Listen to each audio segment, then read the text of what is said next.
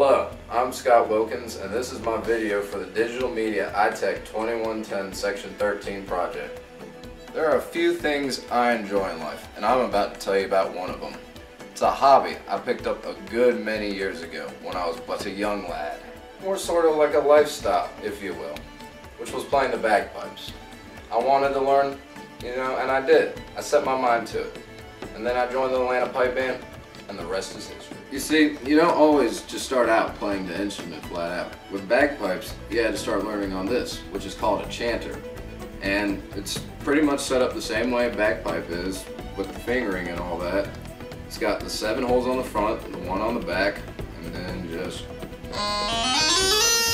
you just blow into it and sound comes out. Now the interesting the interesting thing about bagpipes is that it's a double reed instrument. What is that you ask? Well, I'm about to show you. Come take a closer look. You see, you take this apart right here in the middle. Gotta be careful because there's a double reed on the inside. Take a look at that. See, that is what makes the noise come out of the bagpipe. Is that double reed right there. And now to tell you a little bit about the bagpipe music. Now as you can see here, we have various songs laid out for you to look at.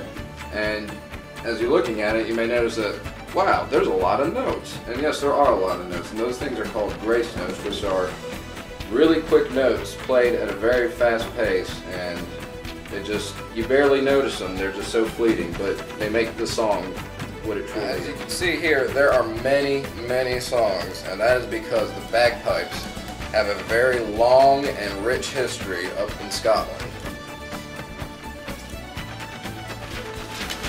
So much paper.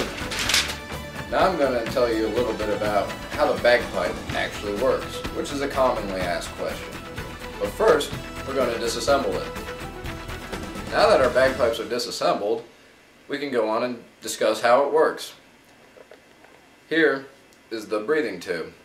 And you put your lips on here, the air goes down and goes straight into the bag and right here it's got a little flap that prevents air from going back out of the breathing tube. And you see you just slide that in there real nice. And there you go. The second thing I wanted to show you is the double reed in the bagpipe. And you'll notice that it's made out of wood, which is different because it was made out of plastic earlier. And uh, that it's more wider and it's a lot sturdier. And that's because it makes a really loud, rich sound which is notorious with the Highland bagpipes. And you just slide that right on in, right there. And then another commonly asked question is, what the heck are these things? And what they are is called drones. And what you have here is a drone reed, which is in all three of these. It's the same thing in all three. And there's a bass drone, which is this really long one, and then you got two tenor drones, which you can see are a lot shorter and the reeds are different sizes. These are these two are smaller than this one.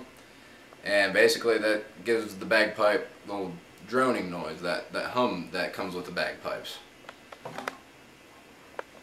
And you just put that right on in there. And there you go. And now you're ready to play